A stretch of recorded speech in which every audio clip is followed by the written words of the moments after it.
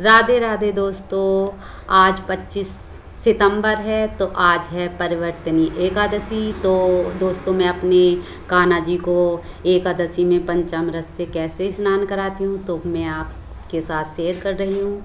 तो सबसे पहले मैं ये तुलसी की माला निकाल लेती हूँ। मैं हमेशा पहना के रखती हूँ, जब नहलाती हूँ, जब ही निकाल लेती हूँ। और अपने कान्हा जी के वस्त्र निकालते हुए हम अपने कान्हा जी को कराएँगे पंचामृत स्नान। ये मैंने काशी की थाली ले ली हूँ। इसी में मैं हमेशा अपने कान्हा को स्नान कराती हूँ। तो इसमें मैं बना लेती हूँ चंदन से अष्ट दल कमल और जैसे कि आप देख रहे हैं, ये मैं चंदन से। मैं डेली नहीं बनाती हूँ। बृहस्पति और एकादशी के दिन ही मैं ऐसा करती हूँ। नहलाती मैं इसी थाली में हूँ, फूलों का आसन दे देती हूँ, तुलसी दल रख देती हूँ और यहाँ मैंने फूल और तुलसी रख के अपने कान्हा जी को यहाँ पे मैं बिठा दूँगी और अपने कान्हा जी को अब ये मैंने शुद्ध जल ले लिया है, जैसे आप देख रहे हैं और कान्हा जी का स्नान शुरू होने वाला है और सबसे पहले मैं थोड़ा सा जल इनके कंधे से डालते हुए और अपने कान्हा जी का हम पंचामृत स्नान कराने जा रहे हैं। तो ये दही ली है मैंने। दही से हल्के हाथों से मालिश करते हुए, ऐसे हल्के हाथों से मैं अपने कान्हा जी की मालिश करूँगी। दही से हमारे कान्हा जी बहुत ही चमक जाते हैं और थोड़ा सा शुद्ध जल डालूँगी। इसके बाद मैं दूध लूँगी। और पंचामृत से दोस्तों मैं एकादशी, बृहस्पत, खास तिथि पे ही पंचामृत से स्नान कराती हूँ। डेली मैं सादे जल से ही कराती हूँ, ये मैंने शहद लिया है। और पंचामृत में शहद, दूध, दही, गंगा जल और शक्कर यही चीज़ें आती हैं दोस्तों। और घी मैं थोड़ा कम ही लूँगी, क्योंकि फिर चिकनाहट ज़्यादा हो जाती है दोस्तों। तो हल्के हाथों से मैं मालिश करते हुए कान्हा जी की थोड़ा सा शुद्ध जल डालूँगी। और अब मैं शक्कर डालूँगी, शक्कर थोड़ा ज़्यादा डालूँगी, क्योंकि जो चिकनाहट होती है हमारे कान्हा जी के घी और दही, दूध वगैरह की, वो सारी शक्कर से निकल जाती है। तो अब हम अपने कान्हा जी के हल्के हाथों से मालिश करेंगे, चेहरे की और हाथों की, और कान्हा जी का रूप ऐसा निखर के आएगा, और सब चिकनाहट चली जाती है शक्कर से दोस्तों। तो ये हमारा शुद्ध जल, अब मैं शुद्ध जल लेते हुए अपने कान्हा जी का स्नान कराऊँगी। देखिए कितने सुंदर लग रहे हैं। तो अब ये हमारे कान्हा जी ने स्नान कर लिया है और ये पंचामृत जो है ये परिवार में प्रसाद स्वरूप हम इसको ग्रहण कर लेते हैं और जो जिस दिन सादा जल होता है, उस दिन मैं गमले वगैरह में डाल देती हूँ, ऐसे नहीं डालना चाहिए, पैरों वगैरह में नहीं लगना चाहिए जल। और अच्छे से पानी पोछ लेंगे। देखिए कान्हा जी कितने खुश हो रहे हैं नहाने के बाद। तो अच्छे से मैं पानी से टोवल से उनकी अच्छे से पानी साफ़ कर लूँगी। पानी नहीं लगा रहना चाहिए, नहीं तो वहीं पे काला सा हो जाता है।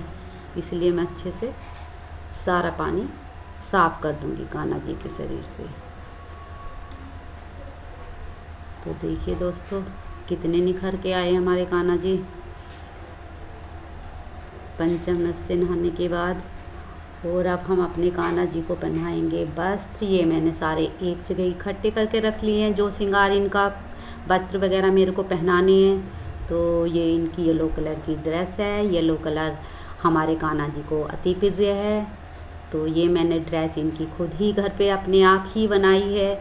मुझे मार्केट के इनके वस्त्र पसंद नहीं आते दोस्तों, क्योंकि उनमें बुकरम वगैरह लगा हुआ होता है, इतने हार्ड होते हैं। ऐसा लगता है जैसे कि हमारे काना के चुभेंगे, इसलिए मैं इनके वस्त्र घर पे ही बनाती हूँ। अगर आपको इनके ड्रेस वगैरह की वीडियो अगर देखनी हो तो मेरे को कमेंट करके बताना। मैं वो भी आपके साथ शेयर करूँगी। तो मैंने देखी ये टिच बटन भी लगाए हैं इनकी ड्रेस में।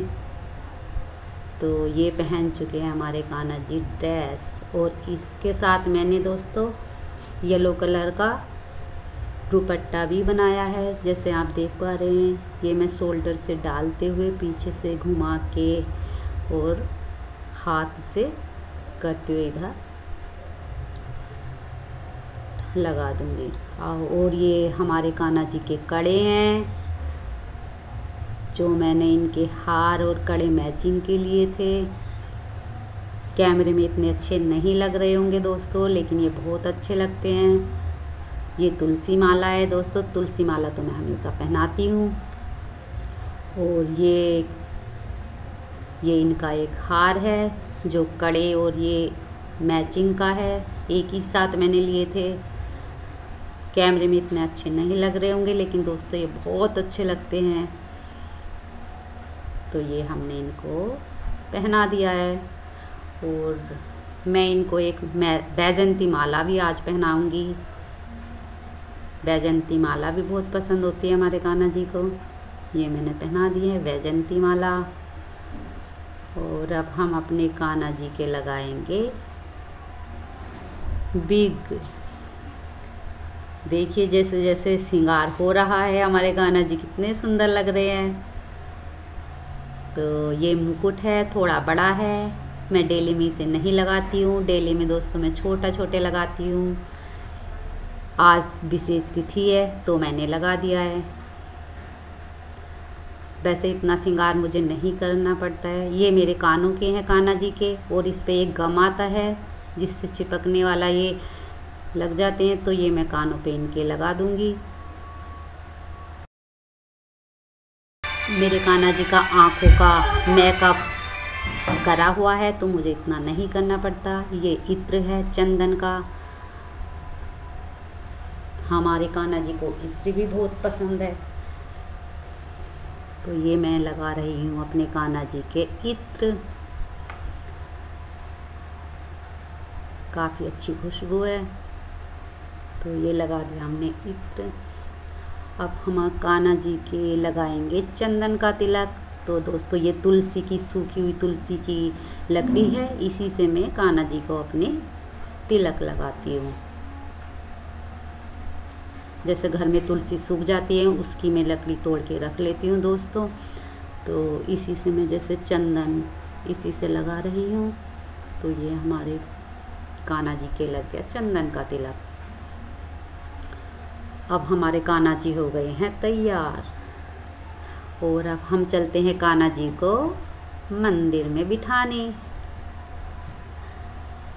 तो चलिए कान्हा जी, और यहाँ मैं मंदिर में ले आई हूँ। सिंहासन पे फूल बिछाए हैं अपने कान्हा जी के, और मैंने अपने कान्हा जी को बिठा दिया है मंदिर में। अब हम अपने कान्हा जी को फूल अर्पण करेंगे, तुलसी अर्पण करेंगे। फूल मैं डेली चढ़ाती हूँ चाहे मेरे दो ही फूल चढ़ाऊँ, मैं डेली चढ़ाती हूँ। और तुलसी भी चढ़ा दिए तुलसी दोस्तों मैंने परसों तोड़ के रखी थी क्योंकि आज एकादशी है, कल संडे था। संडे में और एकादशी में तुलसी को नहीं तोड़ा जाता, इसलिए मैंने सैटरडे को तोड़ के रखी थी तो थोड़ी सूख गई है, कोई बात नहीं, ये हमारे कान्हा जी की बाँसुरी। और बाँसुरी भी मैंने दे दी अपने कान्हा जी को और मैं अपने कान्हा जी को श्रृंगार के बाद दिखाऊँगी। आयना और कान्हा जी से विनती करूँगी, देखिए आपका सिंगार कैसा हुआ है। और अब लगाएँगे, हम अपने कान्हा जी को भोग। सबसे पहले मैं दूध का भोग लगाती हूँ। नहलाने के बाद हल्का गुनगुना दूध, मिश्री डाल के। और जैसे कि आज एकादशी का फास्ट है तो मैं आज अन्न का भोग नहीं लगाऊँगी। तो मैं सब सूखे मेवे और फल वगैरह का ही भोग लगाऊँगी अपने कान्हा को। जो हम ग्रहण करेंगे, वही मैं अपने कान्हा जी को आज सूखे मेवे, फल वगैरह, इसी का मैं भोग लगाऊँगी और मैं कान्हा जी को और ये मैं भोग रखते हुए अपने कान्हा जी को मैंने भोग रख दिया है कान्हा जी को और अपने हाथों से थोड़ा कान्हा जी को भोग लगाऊँगी। सबसे पहले मैं दूध पिलाऊँगी कान्हा जी को। मैं रख के यूँ ही नहीं चले जाती दोस्तों।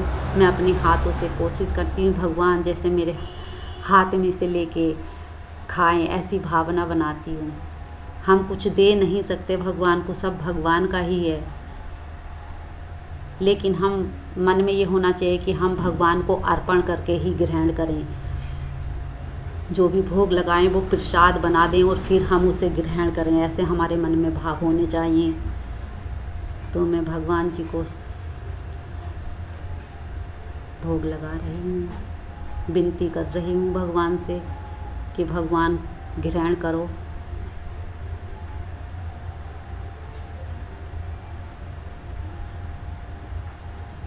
और भगवान से विनती करूँगी। भगवान ग्रहण करें और प्रसाद बना दें भोग को।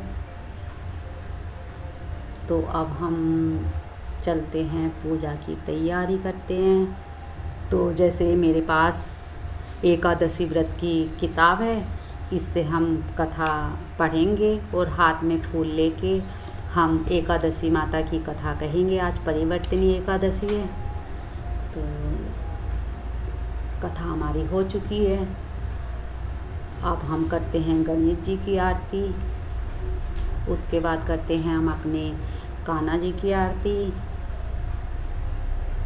और आरती हो चुकी है। अब भगवान से विनती करेंगे। भगवान से विनती करेंगे कि जो भी पूजा में हमसे कमी, गलती, जो भी कुछ हो गई, हमें क्षमा करना।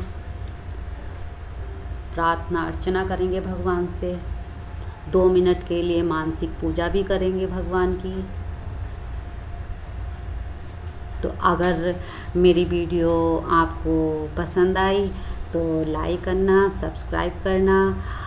अगर मेरे कान्हा जी का आप फुल रूटीन देखना चाहते हैं सेवा का तो कमेंट करके मुझे बताना।